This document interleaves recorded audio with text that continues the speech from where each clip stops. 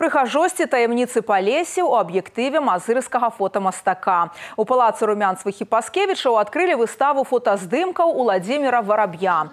Гомельскаму гледачу аўтар прадставіў каля 40 мастацкіх здымкаў. Сярод іх фотапартрэты палішукоў, маляўнічыя пейзажы, віды сельскага побыту. Уладзімир Варабей зачараваўся краявідамі палеся ў небе падчас службы ў штурмавой авіяцыі. І з таго часу ён не змяняе свайму захапленню. Работы фотамастака адметны адметнай дэталёвасцю. За асобнымі здымкамі Владзімир Варабей вяртаецца на одно і тое ж месца некалькі разоў. Менавіта так стваралася фоторабота под назвай кульгавае дрэва. Увидели мы это дерево летом, но масса зелени не решала его так-то. Образность не было, не чувствовался образом.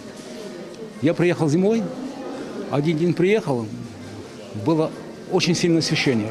Я не стал работать, потому что ну, тот троизм, вот, который, вот, сочувствие от души к этому дереву, понимаете, ну, не считалось. Приехал второй раз, я снял. Довольно успешно. У сваіх падарожжах па палесе Владзімир Варабей назапасіў таксама і багаты фотаматэрыял аб мясцінах, пакінутых пасля аварыі на Чарнобыльскай АЭС. Частка унікальных мастацкіх фатаграфій з гэтай серыі таксама прадстаўлена на выставе.